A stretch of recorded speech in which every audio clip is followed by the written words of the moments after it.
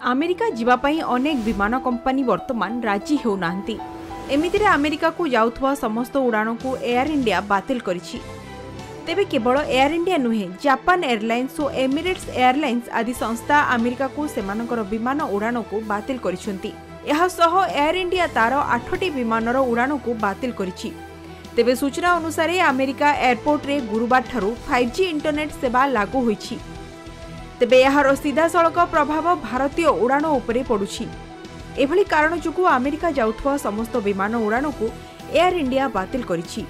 ଏହା ସହିତ Air India ନିଜର ଅଫିସିଆଲ ଟ୍ୱିଟର ଆକାଉଣ୍ଟରେ ଏହାର ସୂଚନା ଦେଇଛି। ତେବେ ଭାରତ ଓ ଆମେରିକା ମଧ୍ୟରେ ଏବେ କେବଳ ଏୟାର ଇଣ୍ଡିଆ ବିମାନ ହିଁ ଉଡ଼ୁଛି। କିନ୍ତୁ ଫାଇଭ୍ ଜି ଟେକ୍ନୋଲୋଜି କାରଣରୁ ଏଥିରେ ବି ପରିବର୍ତ୍ତନ କରାଯିବ।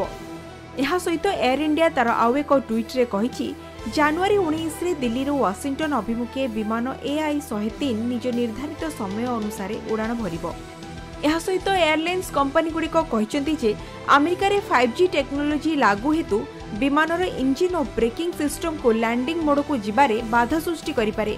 ଏଭଳି ପରିସ୍ଥିତିରେ ବିମାନ ଲ୍ୟାଣ୍ଡିଂ କଲାବେଳେ ସମସ୍ୟା ହୋଇପାରେ। ଆମେରିକାରେ ସ୍ଥାନୀୟ ସରକାର ସମଗ୍ର ଦେଶରେ ଫାଇଭ୍ ଜି ଲଗାଇଛନ୍ତି। କିନ୍ତୁ ଏହା ବିମାନ ବନ୍ଦର ପରିସରଠାରୁ ଦୂରେଇ ରଖିବା ଉଚିତ ବୋଲି କମ୍ପାନୀଗୁଡ଼ିକ କହିଛନ୍ତି। Telecom company AT and T Verizon ପକ୍ଷରୁ ଆମେରିକାରେ ଫାଇଭ୍ ଜି ସେବା ଆରମ୍ଭ କରାଯାଉଥିବା ବେଳେ ବିମାନଗୁଡ଼ିକ ମଧ୍ୟରେ ତାହାକୁ ନେଇ ଭୟ ସୃଷ୍ଟି ହୋଇଛି। ଏୟାର ଇଣ୍ଡିଆଠାରୁ ଆରମ୍ଭ କରି ଜାପାନ ଏୟାରଲାଇନ୍ସ ଓ ଏମିରେଟ୍ସ ଏୟାରଲାଇନ୍ସ ଆଦି ସଂସ୍ଥାଗୁଡ଼ିକ ଆମେରିକାକୁ ସେମାନଙ୍କର ବିମାନ ଉଡ଼ାଣ ବାତିଲ କରିଛନ୍ତି। ଏୟାର ଇଣ୍ଡିଆ ଆଠଟି ବିମାନର ଉଡ଼ାଣ ବାତିଲ କରିଛି। କମ୍ପାନୀ ଏହାର Delhi New York Delhi Chicago Delhi San Francisco Delhi Newark ରୁଟ୍ରେ ଯାତ୍ରା କରୁଥିବା ବିମାନଗୁଡ଼ିକର ଉଡ଼ାଣକୁ ବାତିଲ କରିଛି ପରବର୍ତ୍ତୀ ନିର୍ଦ୍ଦେଶ ପର୍ଯ୍ୟନ୍ତ ଉଡ଼ାଣ ବନ୍ଦ ରହିବ ବୋଲି କମ୍ପାନୀଗୁଡ଼ିକ କହିଛନ୍ତି ତେବେ କମ୍ପାନୀଗୁଡ଼ିକ ଉଡ଼ାଣ ବାତିଲ କରୁଥିବା ବେଳେ ଭାରତର ବିମାନ କ୍ଷେତ୍ରରେ ନିୟାମକ ସଂସ୍ଥା ଡିଜିସିଏ ସ୍ଥିତି ଉପରେ ତୀକ୍ଷ୍ଣ ନଜର ରଖିଛି ଏହି ସମସ୍ୟାର ସମାଧାନ କରିବା ଲାଗି ଏହା ବିମାନ କମ୍ପାନୀଗୁଡ଼ିକ ସହ ପ୍ରତ୍ୟକ୍ଷ ଯୋଗାଯୋଗ ରକ୍ଷା କରି କାର୍ଯ୍ୟ କରୁଛି ଜାପାନ ଏୟାରଲାଇନ୍ସ ମଧ୍ୟ ସମାନ କାରଣ ଲାଗି ଆମେରିକା ଯିବାକୁ ଥିବା ବିମାନଗୁଡ଼ିକର ଉଡ଼ାଣକୁ ରଦ୍ଦ କରିଛି।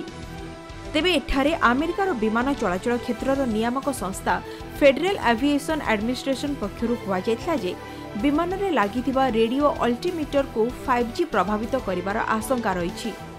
ଏହା ବିମାନର ଇଞ୍ଜିନ୍ ଓ ବ୍ରେକ୍ ବ୍ୟବସ୍ଥାକୁ ଅଚଳ କରିପାରିବ ଏବଂ ତାହାର ପ୍ରଭାବ ବିମାନ ଅବତରଣ ଉପରେ ପଡ଼ିବ।